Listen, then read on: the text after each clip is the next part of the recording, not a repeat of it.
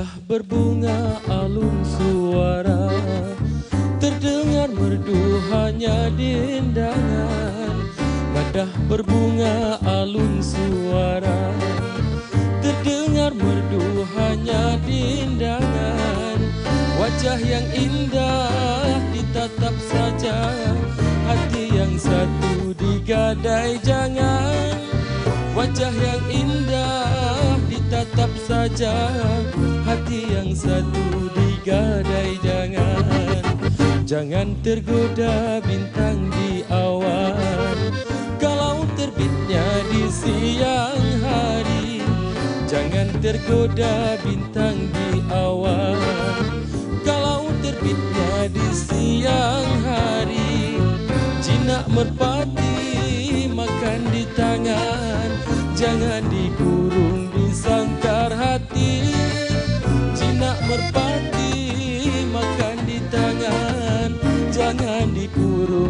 coração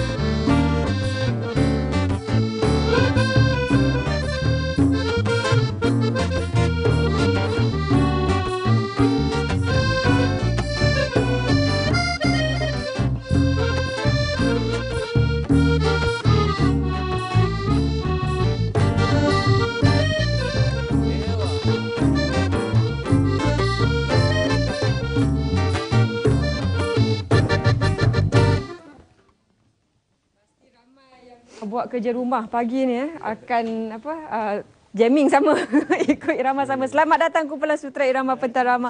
Terima kasih kerana menyerikan Selamat Pagi Malaysia uh, edisi Khamis dengan uh, lagu-lagu rakyat ni. Memang terlibat secara uh, aktif dengan dendang rakyat ya. Ya, ya. Dan kita ditemani pagi ini dengan uh, Pak Ku. Pak Ku mana Pak Ku? Pak Ku. Tapi muda lagi abangku sebenarnya. Ya, Tapi nama glamournya Pak Ku. Nama nama je tua. Nama je hati muda. Jiwa dan orangnya masih muda. Jiwa sentiasa muda Pak Ku. Tak apa. Yasir, Ya- Yasir yang mana? Yasir. Uh, Amin? Amin. Uh, Ikmal. Mana Ikmal kat belakang? Kamera bagi nampak Ikmal sikit. Kita ada dua wear. Wa- Wan Ahmad Lokman dan juga Izwan. Wan Ahmad Lokman dan juga Izwan. Izwan mana satu? Izwan. Okey. Salim. Salim lah lead singer ataupun penyanyi utama. Salim sila ke, ke, ke balik. Tak boleh tanya lagi. Okey. Apa yang menyebabkan Salim dan juga rakan-rakan lainnya me- menjiwai lagu rakyat? Sebab anak-anak muda kita yang lain semua lagu rock, lagu balada. Tapi anda tujuh orang uh, menjiwai lagu rakyat. Uh, kerana uh, kalau kita kembali kepada konsep dendang rakyat sebenarnya hmm. apa yang diorang mahukan adalah untuk uh, memartabatkan lagu-lagu rakyat ini hmm. Uh, untuk di, diminati oleh generasi sekarang Mhm. generasi Gen Y. Jadi uh, kami menerapkan elemen-elemen yang kreatif lah seperti uh, beatbox uh, ataupun uh, rap atau sebagainya dengan uh, tidak menenggelamkan keaslian lagu rakyat itu sendiri. Uh, macam itu. Mhm. Dan setakat ni bagaimana selepas terlibat dengan Dedah Rakyat dan banyak kali berjumpa dengan Pak Ngah kan? Apa antara nasihat yang sering Pak Ngah berikan kepada kumpulan dari segi persembahan? Dari segi persembahan uh, semestinya daripada gubahan muzik lah. Hmm. Daripada gubahan muzik dan juga keaslian uh, lagu rakyat itu sendiri. Mhm. Uh, itu yang nasihat yang selalu diberikan oleh uh, juri lah. Mhm. Di mana sebenarnya para peminat boleh mengikuti pers- persembahan anda? Kalau ada persembahan kat luar ada roadshow ke ataupun ada persembahan khas majlis-majlis ke biasanya ada Instagram ke Facebook ke yang mereka boleh ikuti. Pak Ku, kat mana Pak Ku? Uh, mikrofon dekat sikit Pak Ku. Uh, boleh boleh uh, sebenarnya uh, sutra irama adalah daripada pencerama Jabatan Penerangan Putrajaya Mhm. sebenarnya.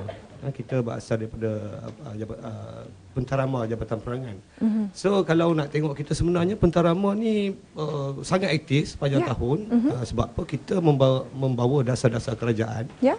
Uh, sambil tu ini adalah satu mod- medium yang kita cari uh, Jabatan Penerangan yang kita cari uh, khususnya pentarama untuk dapatkan satu medium untuk kita sampaikan dasar melalui seni itu.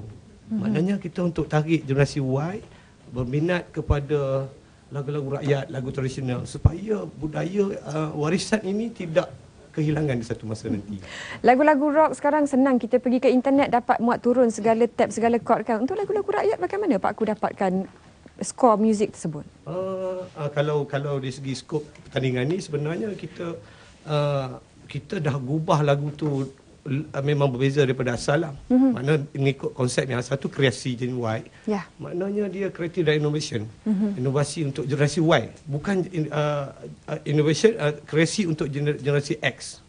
Mana generasi Y. Mm-hmm. Mana untuk menarik perhatian anak-anak muda. Mm-hmm. Anak-anak uh, generasi yang uh, masih sekolah yang bagaimana uh, untuk bagi anak-anak ni uh, berminat dengan lagu rakyat ni. Mm-hmm. Seperti mana mereka uh, berminat dengan lagu-lagu hip hop, mm-hmm. lagu-lagu yang pop yang terkini ya. Ya. Jadi apa salahnya uh, uh, program yang begini mm-hmm. yang yang sangat baik macam ni memberi peluang kepada kami mm-hmm. orang seni anak-anak seni ni mm-hmm. uh, kita bagi kita platform untuk kita berkarya mm-hmm. sambil kami uh, daripada pentarama memang sentiasa mencari medium untuk kami sampaikan dasar-dasar kerajaan mm-hmm. melalui persembahan kami.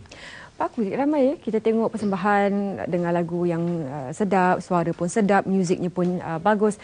Berapa jam yang diperuntukkan sehari untuk latihan berkumpulan?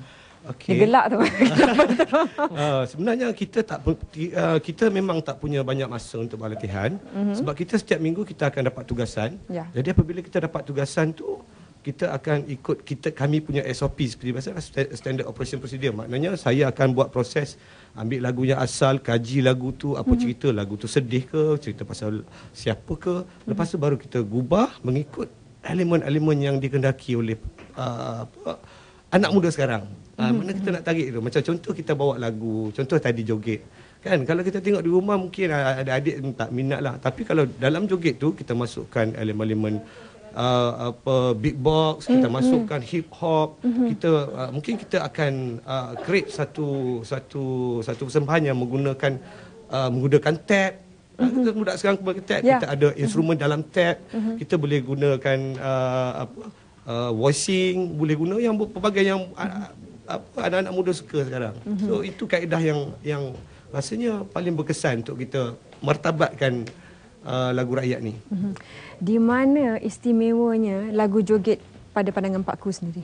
Oh, lagu joget ni uh, sebenarnya lagu joget ni sebenarnya kalau ikut dalam uh, da, dalam rum, uh, dalam uh, kategori apa dalam kumpulan uh, tradisional ni lagu joget ni adalah lagu yang paling rancak. Hmm. Eh dia dia ada dia dia, dia ada uh, asli, hmm. uh, inang, bayon, joget, ada masri. Tapi joget ni ada lagu yang kalau ikut, ikut macam kalau zaman sekarang ni mungkin funk, mm-hmm. funky, Oh. fusion. Uh, so dalam tradisional ni joget ni boleh di-improvise lagi bagi. Ya. Kan dia sebab apa kalau kalau kita tengok lagu Zapin dia mesti ada fi- finale dia dengan uh, apa tu dia punya kopak dia. Ya. Uh, so kalau lagu joget dia mesti ada terancang. Mm-hmm. Mana terancang ni terancang ni maknanya memang memang dia satu lagu yang uh, sangat mengembirakan. Uh, ketika kita berduka, ketika kita perlukan uh, hiburan. Mm-hmm. Memanglah joget ni adalah rentak yang paling seronok sekali Dengan, dengan lirik-lirik sinis kadang-kadang ya Pak Ku. eh? Ya. Baik, terima kasih kepada Irama Putra. Kita uh, akan dapat